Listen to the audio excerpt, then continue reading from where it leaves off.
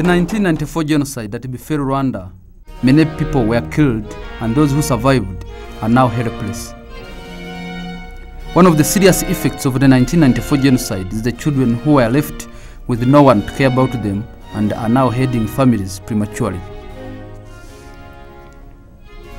It's against this background that Uisenga Nimanzi, a local non-government organization, was established in 2002 and is now working in 10 districts out of 30 in Rwanda and it has a vision of implementing child-focused programs that will address the special needs of orphans affected by genocide and HIV AIDS.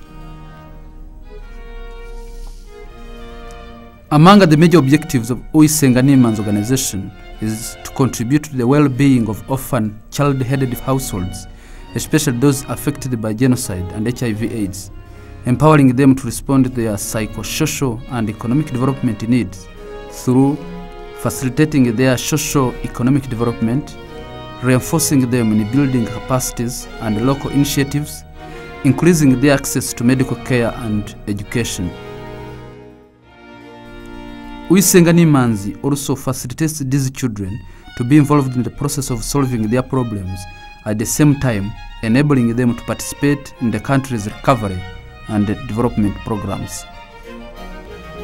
Among the main problems facing these children include lack of accommodation, as many of them have nowhere to sleep, lack of medical care, many of these children can't afford to go to school, others have trauma cases, and the organization helps them in legal aspect, especially in fighting injustice among these children. Among the activities Uisenga Niemans is doing is to bring together these children from different areas of the country and listen to their problems and needs. Every year, the organization organizes the Solidarity Camp for these children three times, and it attracts more than 200 children who are supported by the organization. Some of the children testify that the organization has helped them, especially in the self-help projects.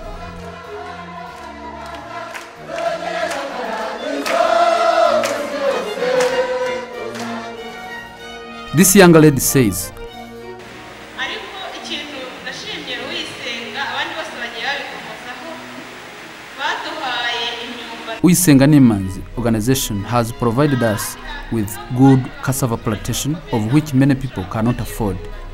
They have even provided us with radio sets and we no longer feel isolated. Nizeimana is also supported by Uisenga Nimanzi organization. He says, mbese nabonye yuko yadukuye mu icuraburindi ryari tubasha kuvuga eh, mu bitekerezo uyisenga Nimanzi managed to get us out of total darkness which had closed our eyes. While this one says, icyo nshimira cyane wisenga ni uko natwe tubwira umubyeyi twumva Uisenga Nimanzi is an organization which cares for us because besides being an organization, it is our family. As its slogan states, child care and affection. This boy says, all of you should praise God because we have someone who can listen to us. I used to say that no younger genocide survivor who is living a miserable life like I do. I could lock my house when leaving to school and open when I am back.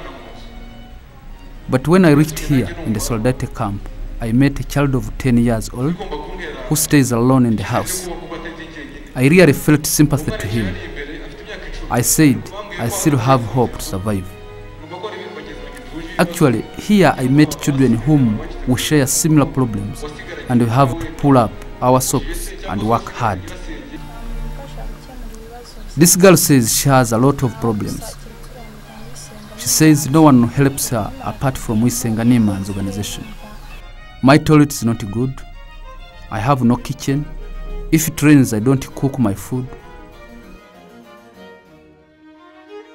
Among the many challenges facing these children, Wisenga Nimans has managed to construct 24 houses in Kichukilo district for the child-headed households. But this is a drop in an ocean. There are many children who have nowhere to sleep. The rest of the children who have no houses are still waiting for the support, regardless where it comes from. Wisenganimans has managed to bring together these children and put up income generating activities like growing pineapples, cassava, livestock rearing, and art crafts. Wisenganimans provide them with financial support. With the limited resources at their disposal, Wisenganimans organization has managed to accomplish some tasks. The organization has put up a children's center at Kachil. They have rehabilitated some houses. The organization has sponsored students, personal development workshops have been done, trauma counseling program has been developed, and the conflict prevention and the resolution mechanisms are undertaken, among others. With all what Uisenganiman's organization has achieved, there is a lot that needs to be accomplished with the help of individuals, organizations, associations, and many others who may wish to support these children to get their own houses.